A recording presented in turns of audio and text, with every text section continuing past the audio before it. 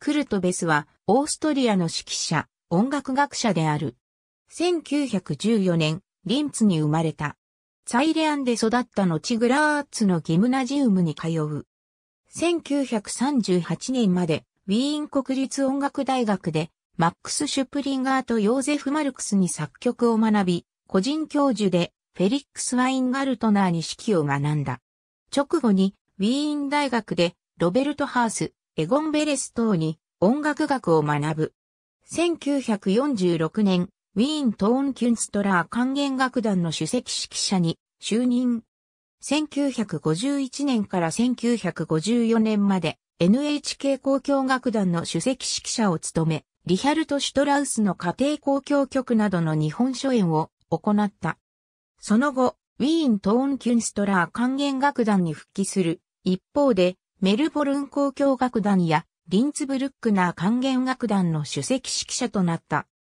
1983年に東京フィルハーモニー交響楽団に客演し、ブラームス交響曲全曲チクルスの一環として、シュワインガルトナーが得意とした交響曲第2番を指揮する。1985年、ウィーン・ヨハン・シュトラウス管弦楽団を率いて来日。同年秋には、ウィーン・トーン・キュンストラー管弦楽団の来日公演にも帯同。1986年にも来日したが、1987年、ドレスデンフィルハーモニー管弦楽団とのブルックナーの交響曲第2番のリハーサル中に心筋梗塞を起こし、ドレスデンで没した。教え子としては、大町洋一郎、伊藤栄一、三石誠一らがいる。ベスが N 教の常任になった背景としては、前任者、ヨーゼフ・ローゼンシュトックとは違ったスタイルの指揮者が求められていたこともあるが、N 教事務長、有馬大五郎がウィーン留学時代に築き上げたコネクションが大いに関係している。コネクションの是非はともあれ、ベスの就任が日教から名称変更したばかりの N 教に新風を吹き込んだのは間違いないことである。ベスのレパートリーは独王系楽曲であったが、その中でも一番聴衆に喜ばれたのがウィンナワルツの演奏であった。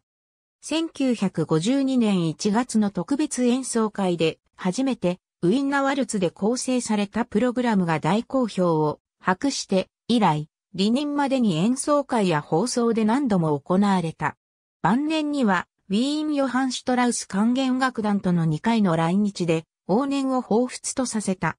また、ウィーンからの客員奏者4名を招聘して N 教のアンサンブルの改善を図った。これら客員奏者はアンサンブルの主軸としてのみならず、演奏会ではしばしばソリストとしても出演し、レベルアップに一役買った。なお、このうちモルナールは日本に残り、日本のハーアップ奏者育成に多大な貢献をした。ベスが N 教の常任に就任した頃は、戦後の混乱もひとまず収まり、外来音楽家が少しずつ来日するようになった時期でもあった。ベス &N 教もそういった音楽家の何人かと共演する機会に恵まれた。1952年5月には戦前のメトロポリタン歌劇場で一級のワーグナーソプラノとして活躍したヘレン・トラウベルとワーグナーの夕べを開催。同年7月には名バリトン、ゲルハルト・ヒッシュとの演奏会を行った。1953年に入ると3月の第345回定期他で、ワルター・ギーゼ・キング、5月にマリアン・アンダーソン、同年9月の第349回定期でアイザック・スターンと共演を重ねた。外来音楽家との共演以外では、長く日本で演奏活動をしていたレオニード・クロイツァーや対等著しい日本人歌手の何人かと共演がある。1953年5月の第347回定期では、その日本人歌手の一人、大賀のりと共演している。後のソニー会長その人である。この演奏会では、ハープ奏者のモルナールもバス歌手として出演。意外な一面を見せている。N 教以外での特筆事項としては、芥川康に弦楽のための山岳賞、トリプティークの作曲を依頼、1953年にニューヨークフィルハーモニックの演奏会で初演していることが挙げられる。映像は N 響を指揮したニュース映像がある。レコーディングは N 響と共演したものとしては前日のクロイツァー、トラウベル、ギーゼキングとの共演のライブ録音がある。